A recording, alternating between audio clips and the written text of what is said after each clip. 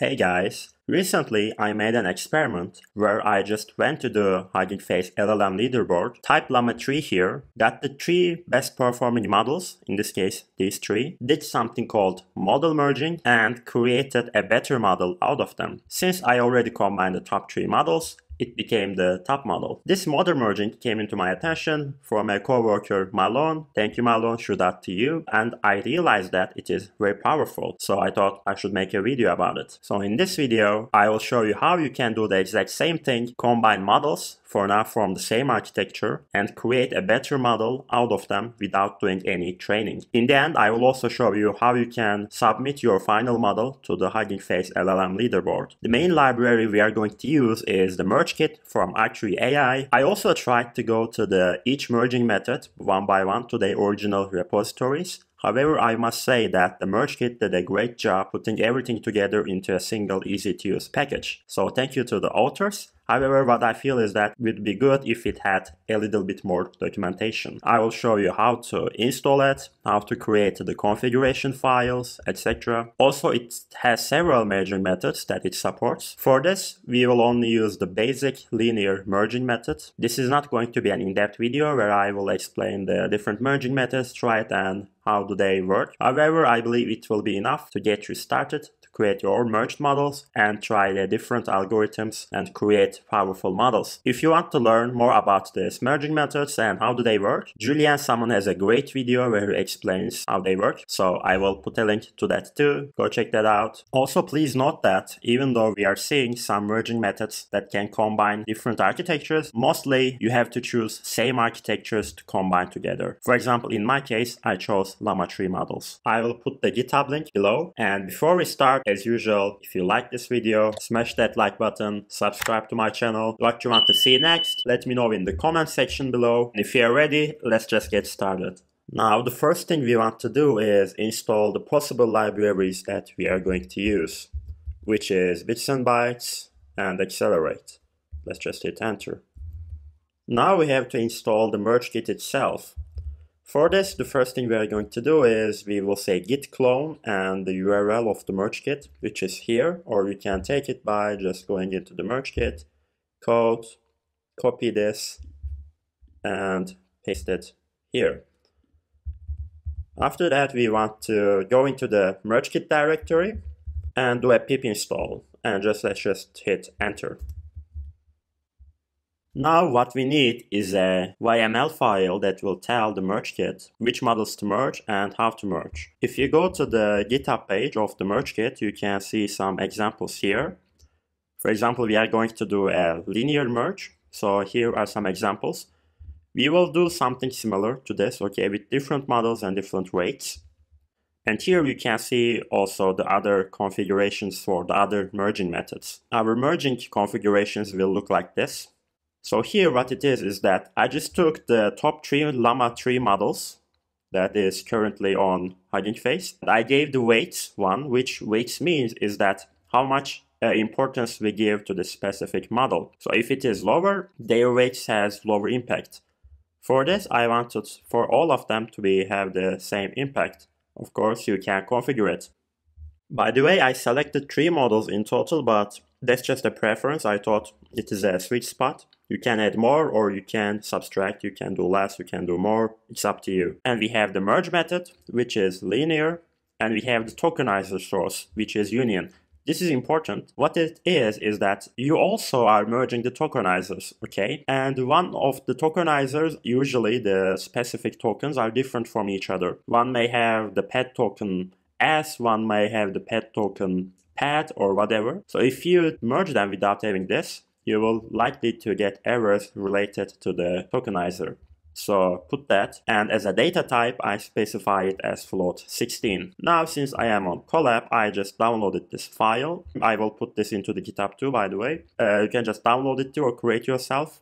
Name it whatever you want and with YML. I will come here and drag and drop my YML file into the merge kit. So now it is here. Let's close this. Now, since we have the YML file ready too, it's time to do the actual merging. By the way, as I know, you can do this from the command line too, but I don't usually like using command line for this type of stuff. I usually prefer to go with just in the Python. So we will do that. First, we will need an output path. This is where the model is going to get saved, the merged model. In this case, I just put models llama 3s merged, okay? This is not important. This is important. Uh, this is the path of your YML file. In this case, in my case, it is in content merge kit linear YML. Or you can just come here inside the merge kit. We drag and drop in this into the here. You can just say copy path and merge this to here. After this, we have copy tokenizer. We will set it to true. What it does is that it also creates a tokenizer for you inside the Llama 3s merged. Yes, we want that and we will need it when we post it to the leaderboard. We set lazy unpickle equals to false. So I set this to false because I have enough computation power in my case. If you don't have enough computation power, you can set it to true and it will use less RAM. Same for low CPU memory, I have enough computation power, so this is set to false. Now we import torch, we import YML, we import merge configuration from merge kit, we import merge options and run merge, and we open the YML file. We put it into the merge config. By the way, I took this code from the uh, example section in MergeKit, somewhere like that inside the MergeKit GitHub. You can find this in there too. You, we open this with merge configuration that we imported from MergeKit. And after that, we start running the merge we put merge config as argument, output path we defined here, the where the model is going to save. Options, we have the merge options such as uh, LoRA merge cache. Like I said, it's not important for now for us. We have the CUDA, whether it's going to use GPU or CPU, copy tokenizer or not, we set this. Lazy unpickle, we set that too. Low CPU memory, we set that too. And we close the run merge. And we print done. And after this, our model will be ready for use and it will be saved under the llama 3s merged. Beware, this may take a little bit of time because it downloads the model, loads them and merges them, so be patient and let's run this. And the model merging is complete. Hopefully you didn't have any problems up to this point. If you have like a memory error, you may try setting these guys to true. It may help. But in overall, yes, it requires a high memory in overall so now since we have a merge model, let's try to get some results with it. So by the way, this uh, part is not mandatory, but just to see, you know, the our model works. First thing we do is we import auto model for casual and auto tokenizer from transformers, and we import torch.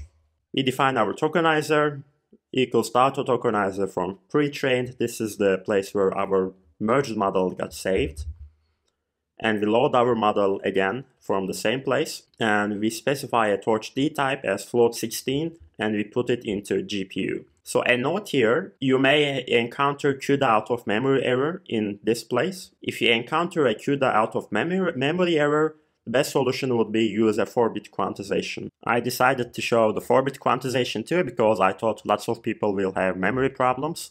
So to do 4-bit quantization, what you do is you define a quant config here and import bits and bytes config from transformers, all right? And here you go and say quantization config equals to quant config and it will load it in 4-bit quantization. With this, probably you won't have a memory problem. Something I missed, if you do 4-bit quantization, you have to remove this to CUDA and run it again. And now the user message. What I want the function to calculate is that is a recursive function that calculates Fibonacci sequence in Python. And I have a prompt which goes like this, blah is an instruction, blah blah instruction, the user message, and I want the response. So I believe this is a weak spot about the merge models because I merged three models, but I don't know their individual prompt formats. And usually prompt formats can make a huge difference. But I just used this specific format. But like I said, I believe this is a weak spot in the merge models that there is no unified prompting format when you merge them all together. That out of the way, we just uh, tokenize the inputs, return PyTorch tensors, and we say model generate. We unpack the inputs, we put them into the CUDA, and we put some decoding method strategies. I won't go into details in them, but most of my videos, such as training SFT, you're curious, just go to there. Some decoding strategies, and we have the outputs. So we decode them with the tokenizer, and we skip the special tokens so that we will have a more clear output, and we print the results. Let's just hit enter and see the results. Now we have an output, we may get these warnings, okay, special tokens have been added. I think that's because we merged the tokenizer as well. And here we have a result to calculate the Fibonacci numbers and some comments and stuff. So we can see that the model generates something and it is working. And now let's see how we can evaluate this model compared to the models that we used for merging it and how we can submit it to the Hugging Face LLM leaderboard. First thing we have to do is we have to log in into our Hugging Face account from this notebook. To do that, we what we do is from Hugging Face hub, import notebook login, and we say notebook login. We run this, you click to here, you come into your account, and you copy this, copy one of your tokens. If you don't uh, generate a new one, in my case, I copy this, paste it here, and say login, and we are logged in. And now we want to push our model and the tokenizer into our Hugging Face account. How we do that is we say our model push to hub and the name you want to give to your model. So in my case, my username is Uygar so I put that and I put Llama 3 merge linear as my model name and do the same for tokenizer and hit enter. In this case, I won't hit enter because I already did that. After that is done, you can actually see the model inside your Hugging Face account. Here, in my case, in Uygar Llama 3 merge linear, it is here. So before submitting to the leaderboard, we have a couple of things to do. We have to check that if it is in a submittable format. What Hugging Face suggests is that we do we import autoconfig, automodel, and autotokenizer, and we say config autoconfig.from trained, and we put the model. We do it for auto model and we do it for auto tokenizer. This should be working. Let's hit enter and see if this is working. When we do that, if it loads here like this without any problem, it means we are good to go. So what we need to do now is that go to the Hugging Face LLM leaderboard, just Google Hugging Face LLM leaderboard, come here to submit, put your model name. In my case, it is, for example, this one, precision float 16 if you follow this. And model type, we want to say base merges and moerges, okay? And you say submit evaluation.